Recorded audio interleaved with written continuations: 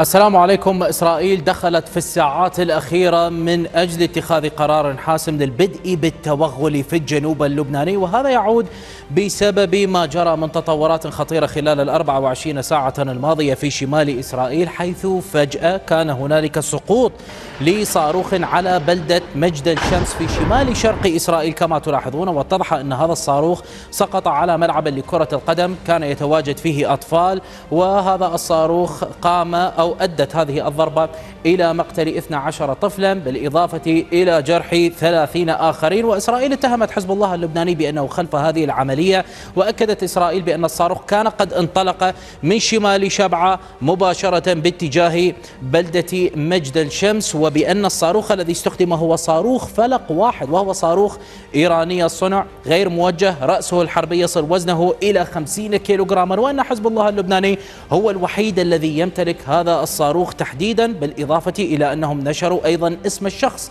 المسؤول عن هذا الهجوم وقالوا بأنه علي محمد يحيى هو كان مسؤول عن إطلاق هذه الصواريخ. وإذا ما ألقينا نظرة على هذا الموقع مجد الشمس في مرتفعات الجولان التي سيطرت عليها إسرائيل في عام 1967 هذه هي مجد الشمس والمنطقة التي كانت قد سقط عليها الصاروخ. هي هذه الملاعب تحديدا وبشكل خاص وأدق هي وهو هذا الملعب الصغير الذي ترونه هنا تحديدا. كان قد سقط الصاروخ وأدى إلى ما أدى إليه في نهاية المطاف وإذا ما ألقينا نظرة من وجهة نظر حزب الله اللبناني من النقطة التي جاءت منها الصواريخ. ترى بأنها مكتظة بالمباني المدنية إلى غرب هذه المنطقة على مسافة 620 مترا. يأتي هذا المرتفع الذي يبدو بأن هنالك رادارا لكنه ليس بالرادار الكبير أو الذي ممكن أن توضع له حسابات. كذلك المنطقة الخلفية لهذا الموقع الذي استهدف تلاحظ بأن هنالك أسواقا هنا على سبيل المثال مركز كبير للتسوق بعض المحال الأخرى المدنية. ليس هنالك أي تواجد عسكري في هذه المنطقة وهذا هو الذي يضع بأن هذه المسألة ومرور الصواريخ حتى من هذه المنطقة يضع حسابا كبيرا للخطأ أو الأخطاء الحسابية التي ممكن أن يقع بها حزب الله اللبناني عندما يقوم بمثل هذه الهجمات. لكن حزب الله رد على هذه القضية وقال بأنه لم يكن خلف هذا الاستهداف أبدا بل إنما جرى هو أن المنظومات الدفاعية هي التي تسببت بكل ما جرى حيث أن فعلا كان هنالك هجوما صاروخيا من قبل حزب الله اللبناني لكن الصواريخ لن تكون متجهة باتجاه مجد الشمس وإنما هذه الصواريخ بمجرد ما دخلت لهذه المنطقة ومرتفعات الجولان قامت مباشرة هذه المنظومة الاعتراضية بمحاولة التصدي للصاروخ ولكن هذا الصاروخ الاعتراضي كان قد سقط بهذه المنطقة وقال حزب الله بأن إسرائيل هي المسؤولة عن سقوط القتلى والجرحى من المدنيين الأطفال. إسرائيل طبعا لم تأخذ بهذا الكلام أبدا وتحدثت بشكل واضح أن حزب الله هو الذي كان خلف هذه المسألة.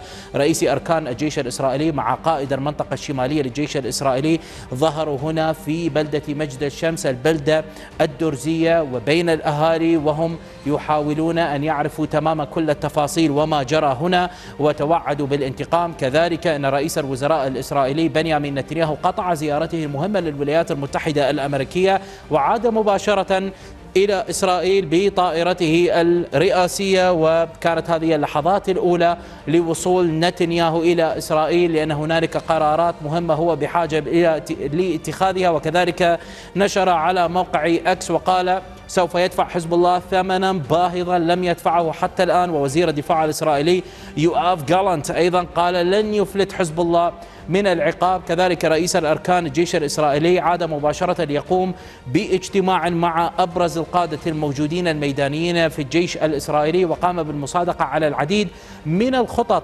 للهجوم البري تحديدا على جنوب لبنان. وكذلك أيضا ظهر نتنياهو وهو مجتمعا برئيس الأركان ووزير الدفاع ومستشار الأمن القومي وعدد من القادة الآخرين لاتخاذ القرار الحاسم للبدء بالهجوم على جنوب لبنان. وبعضها كانت هنالك لقطات قد انتشرت بين الأوساط الإسرائيلية لدبابات الميركافا ثلاثة وهي تتحرك باتجاه شمال إسرائيل للإعداد للتقدم على جنوب لبنان. كما تلاحظون هنا في إشارة خطيرة بأن هنالك عملية برية محتملة من قبل إسرائيل على حزب الله اللبناني وكذلك أيضا أن حزب الله اللبناني من جهة أخرى كما نشرت وكالة رويترز من مصادر أمنية مهمة بأن حزب الله اللبناني قام بالانسحاب من مواقعه حتى على مستوى البقاع وقام بتأمين قادته بشكل كبير لأنه يتوقع أن إسرائيل ستقوم بعمليات انتقامية كبيرة وخطيرة. كذلك أن الخطوط الجوية على مستوى لبنان تحديدا ال Middle East Airlines وغيرها كانت قد أعلنت وأجلت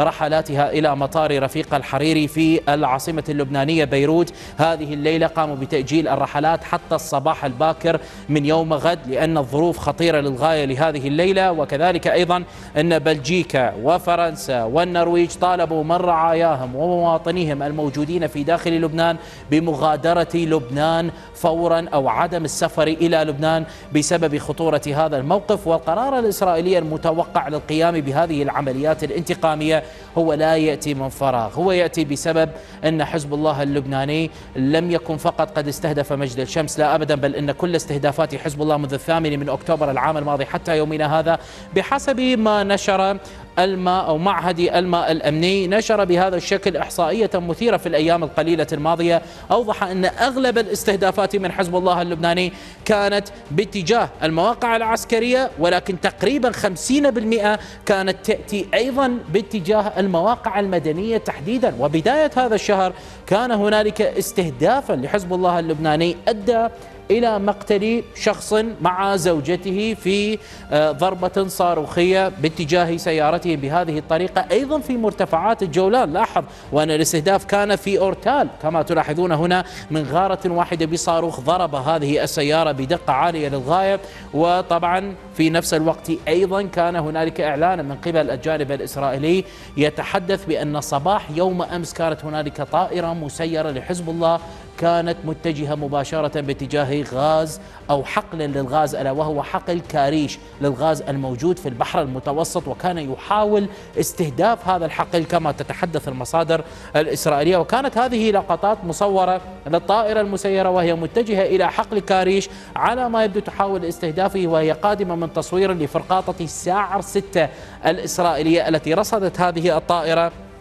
وقامت باستهدافها بعد ذلك. وستلاحظ من طبيعة الانفجار أن الانفجار كان كبيرا لهذه الطائرة مسيرة مما يوضح بأنها مفخخة ويبدو بأن حزب الله كان يحاول حاول الانتقام لجماعة الحوثي من الضربة الإسرائيلية الأخيرة التي رأيناها باتجاه محافظة الحديدة التي ضربت بنى تحتية نفطية وكهربائية وكانت ضربة كبيرة للغاية من قبل الجانب الإسرائيلي. كذلك أن هذه التطورات كلها تأتي بعد ثلاثة أيام فقط من تقرير مثير لصحيفة الجريدة الكويتية والتي نقلت تفاصيلها العديد من الأوساط الإسرائيلية مثل ال i24 وكذلك ال Times of Israel أو قالت بأن إيران قامت بتزويد حزب الله اللبناني بأسلحة نوعية للغاية. قامت بتزويد حزب الله اللبناني كما تحدثت الجريدة الكويتية بقنابل إلكترومغناطيسية وكذلك أيضا بتوفير لحزب الله اللبناني أيضا قنابل أخرى وهي من القنابل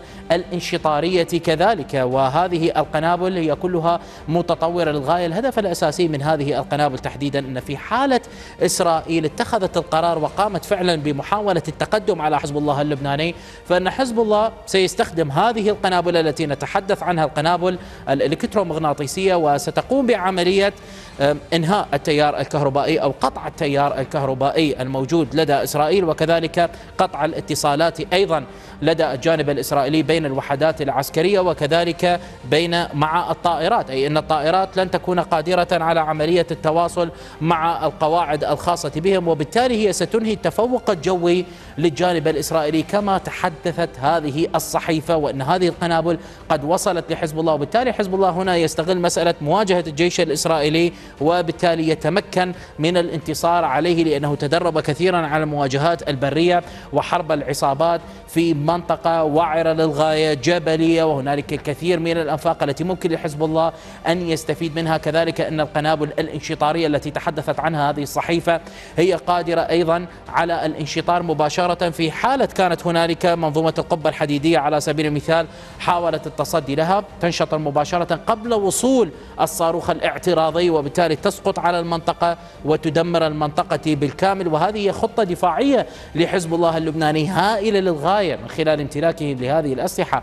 لكن ما هو مثير مما ذكرته الجريدة الكويتية هنا بأن هنالك خطة لدى جبهة المقاومة بشكل عام. الفصائل المسلحة الموجودة في سوريا وحزب الله هو الخطة أن يتقدموا وأن يقوموا بتحرير مرتفعات الجولان. صدق أو لا تصدق وكذلك أن يسيطروا أيضا على الجليل الأعلى الذي استهدفته كثيرا إسرائيل.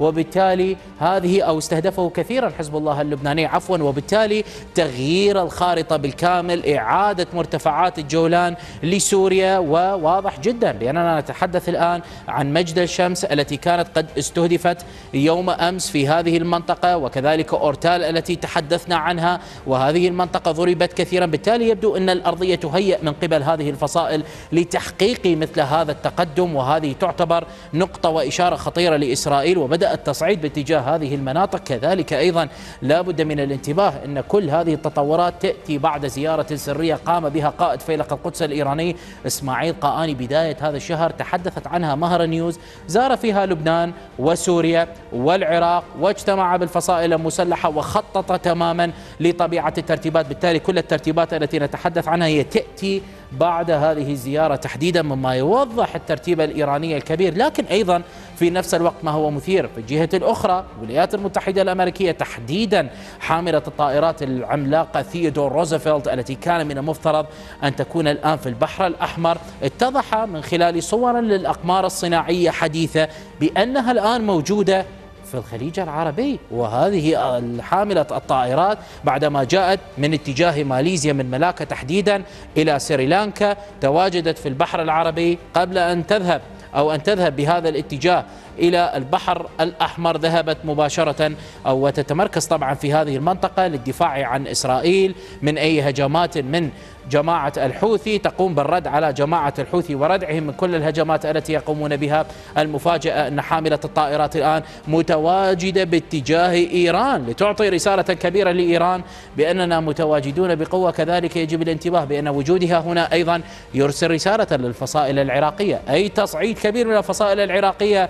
سيعني أن ثيودور روزفلت حاضرة وبقوة في عملية ردع أي تصعيد كبير إقليمي لأنهم يعرفون تماما أن إيران كانت واضحة. أي هجوم على جنوب لبنان ستشتعل المنطقة وجبهة المقاومة ستشتعل أيضا بوجه إسرائيل. بالتالي نحن أمام ظروف استثنائية بعد هذا الاستهداف الذي جاء على مجد الشمس وتطورات سريعة للغاية من الممكن أن نرى تطوراتها خلال هذه الليلة أو حتى 48 ساعة القادمة بحسب القرار الإسرائيلي المرتقب لكيفية الرد على ما ممكن آه، أو على الهجوم الذي جاء من حزب الله اللبناني.